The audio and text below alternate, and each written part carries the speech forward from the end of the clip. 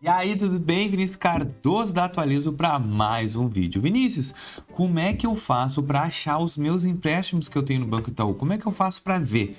Quero ver todos os contratos que eu tenho aberto, então dá uma analisada. Como é que eu faço? Não te preocupe, eu vou colocar a telinha do meu celular aí e nós vamos ver juntos. Telinha aí. Pessoal, olha só. Esse aqui é o aplicativo novo já atualizado do Itaú, tá? De repente o teu deve ser um pouquinho diferente. Existem tipos, mas o fundamento é o mesmo. Ó, tu vai em menu.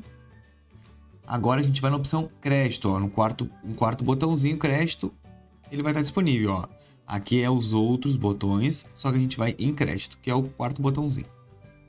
Agora a gente vai acessar a parte empréstimos, então.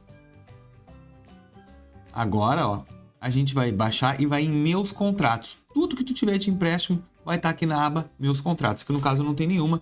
E aí tu vai aparecer limite cheque especial, uh, empréstimo disso, empréstimo daquilo, vai estar tudo aqui disponível, tá bom?